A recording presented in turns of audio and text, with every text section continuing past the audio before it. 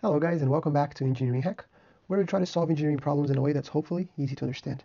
Today we're tackling exactly the same problem we did on the previous video on heat transfer, except for the caveat that now we're including the convective resistance. So we have now convective coefficients that were given, and we need to account for them, both on the inside and on the outside.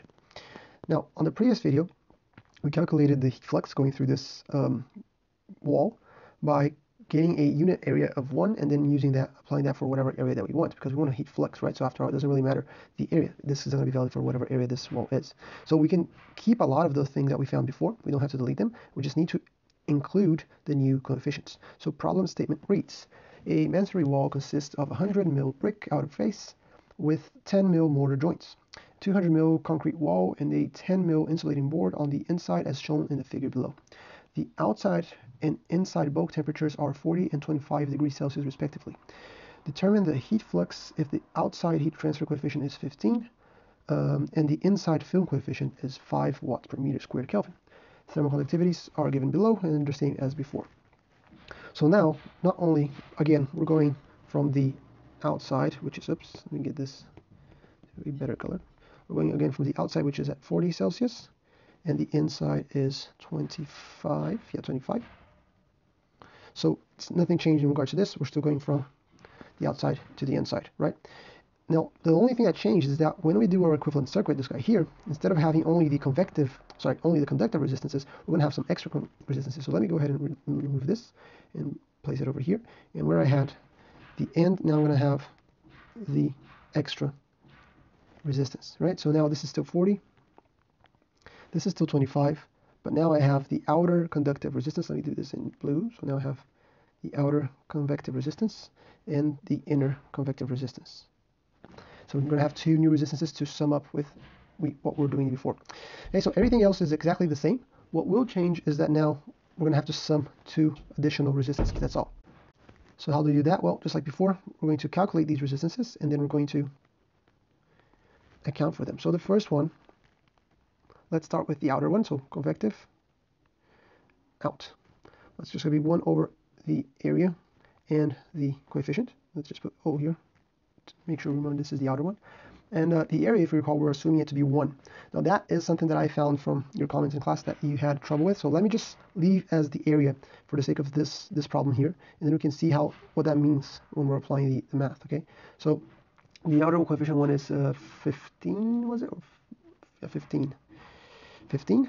So this means that this is going to be 0 0.0666666 um, over the area. So that's just, but because we haven't multiplied by the area there, we still have that meters squared here on the top.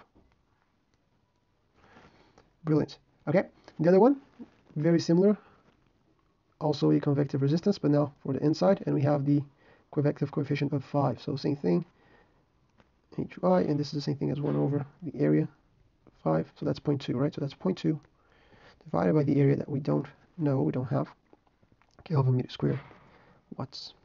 All right, now, when we are assuming a unit area of 1, what we're doing here is we're taking a little piece of this, and we're saying that this piece is repeating, right?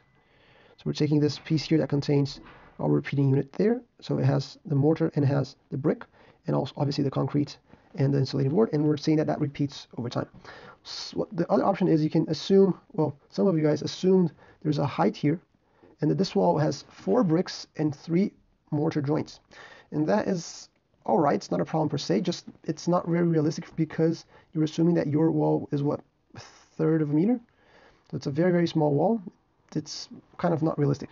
Um, but of course, when you do that, you have the benefit of your repeating unit consisting of four bricks and three mortar joints, right? So in a way, it might be more precise if you remember to convert it back to um, to divide by the area that you're assuming. So that option would consist of, okay, you, you're saying that you have 75 times 4 bricks of height plus 10 times 3 and the, uh, 3 of the um, mortar joints, and that will be your height, right? And then you take your depth of 1 and you see what is that area, and that's going to be 0.33 or so. And then by the end of it, when you find your heat, your uh, heat for this, so your Q, your big Q for this, what you do is you then divide it by the area that you found, so divide this area here, and that's going to give you heat flux. So that works too. You can do that. Um, so going back to this idea here, what I'm doing is I'm, I'm getting the, the unit that's repeating in time, and I'm just using that as our baseline area. Okay, in that case, what that means is that where I have my ones here, I'm just, you know, it's equivalent of leaving just the area there. That's the equivalent. Okay, and over here, same thing, I'll leave the area here. But because the brick and the mortar, they're not going to have the full area, so it's not going to be, in other words, this area here, right? So this full area here, which is the area that I see if I look in this direction here, this area here, this red one here. If I look for the insulating board or for the concrete, they're both going to have that area of one meter squared that I determined. But if I look in the brick and the mortar, what I see is that only a fraction of the area is mortar, only the remaining fraction is brick. What is that fraction? Well, because the um, the distance here, the, the, the depth here is going to be the same for both of them. This is the depth, by the way. This is the depth, right? And this is the height here. Okay, because the depth is going to be the same for both, the difference is only in the height right? So that means that the area that the brick occupies is just 75 divided by the 85 in height, okay? Because the area of the brick, so the area of the brick will be the 75 times my depth. The area of the mortar will be the 10 times the depth. Okay? So the ratio between them, we know that the sum of them, if we sum up area of brick plus area of mortar, we're going to get the 1 meter squared that we determine, right? So because of this relationship, then that means that we can further specify that the area of the brick is just, you know, the ratio of 75 over 85 of that one uh, meter squared. So that's what we're doing here. Okay? So let me just remove where I have the ones, and I'm just going to have my area with me the whole time. So all these numbers that I found, all these numbers that I found are actually divided by the area, and my units are all kilowatts meter squared. Sorry, Kelvin meter squared by watts.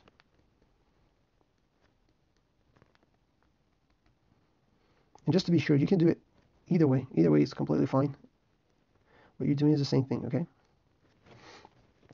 Brilliant. So now, now we're converting where we have the, the brick and the mortar, we're converting to the equivalent unit, like on the previous video. That's the same. All that doesn't change. Um, what does change is that when we get to this point here, we're converting from this point to this point because we have those two extra resistances, the convective ones.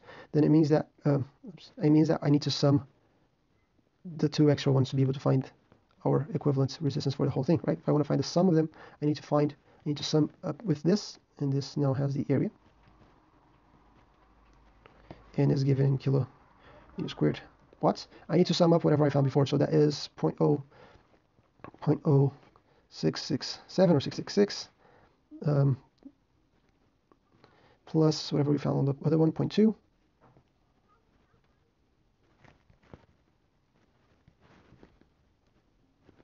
Same thing, Kelvin, meter squared watts And everything is divided by the area. So when we sum them up, the area is still there dividing, and our area is, you know, whatever area we wish. Okay, so what happens here is when we go to apply this, the analogy with the electric circuit, let me get rid of this because this is going to change now. So we, when we go to apply that, what's going to happen is that we don't have R per se. Actually, we do have R per se. It's the sum of all these guys, but still per area, right? So if we sum all this, we get about 0.6719 and divided by the area whatever area we wish. And now, when we apply, so when we're substituting this R here into here, what we're going to have is that Q equals the delta T divided by the 0.6719 divided by the area. Right, so this is the same thing as delta T times area divided by the 0.6719. And units all kept the same, right? So this is still Kelvin, meter squared, oops, meter squared for watts. So now we can plug uh, the numbers we have. There's, well, actually, there's two options here, right? We're after heat flux, not heat per se. So at this point here, you can divide on both sides of the uh, equation by the area. That's one way of doing it. And then what happens here is this becomes Q dot over A, which we know is the same thing as heat flux, small q. And on this left hand, uh, right hand side, we get is we're dividing area by area. So this means that this is just delta T by the 0.6719. Our delta t didn't change, so that's the same still. So it's still 40 minus the 25. And this is going to give me a new number. Just as a reminder, we expect this number to now decrease, right? Because now we have more, we have additional thermal resistances. So there's more things in the way of heat. So therefore, we expect the 32-ish that we had before to now decrease. And it does indeed. We get 22, about 22. So approximately 22.33. And then unit-wise, what happens is we have the Kelvin from the delta T, and on the bottom here we have the Kelvin, the meter squared divided by the watts, so the watts go to the top with watts, and then Kelvins and Kelvins go away, and we're left with watts per meter squared, which is exactly the unit for heat flux which is great. Okay, so whether you prefer carrying the you know the unknown with you the whole time or assuming it's one, what you're doing is uh, by the end of it the same thing. Just a matter that you carry your problem around um, that changes. Okay, in terms of this new addition of the convective uh, resistances, what changes is that well now we have to take into account not only the resistance due to the the wall itself, the heat traveling through this wall here, but we also need to take into account that because it has to go, there's a, a contact between a fluid and a solid here, there will be a convective resistance. So we're taking that into account. And also here, as it's leaving the wall and going into the ambient, whatever that ambient is, there's also fluid here in contact with the solid, so we're taking into contact that in, into account that resistance as well. So that means we're going to have additional resistances, which means that RQ is going to decrease, because after all, we know that Q is inversely proportional to our thermal resistance. Right, so that does it for this problem. It's just a you know follow up on the previous one. As per usual, if you have any questions, just let me know. And if you don't, we'll talk soon.